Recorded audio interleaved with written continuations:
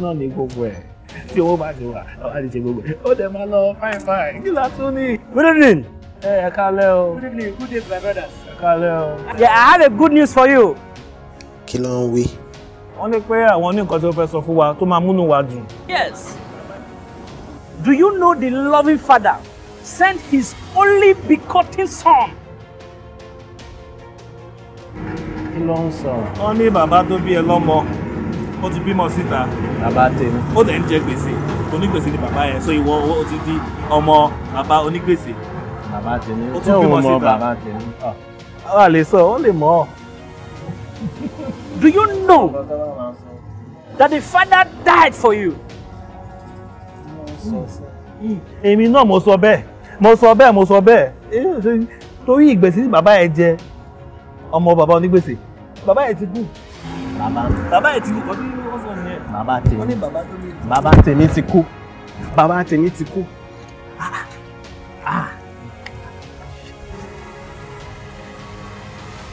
What did you tell him? Um, I told him the thing you tell me.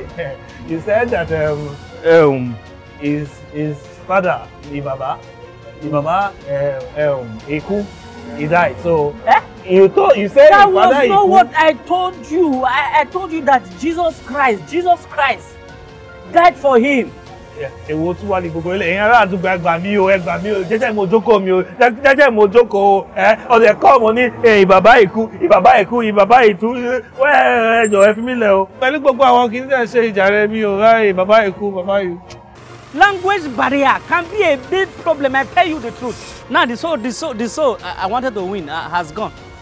Let me go and minister somewhere else. Don't assume that people have understood the message uh, just because you've given it in maybe in English or something like that.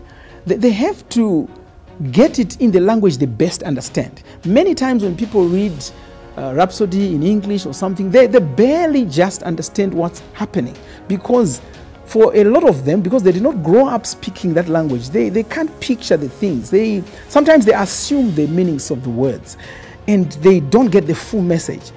And we've experienced that. We've had people who maybe were reading Rhapsody in English or something, and then uh, finally, when they finally get it in the language they better understand, they've called us to say, look, I, it's now getting clearer. The message is now clearer. Why? Because people think in pictures. Until a person pictures whatever is being communicated in their mind, they, they haven't understood it.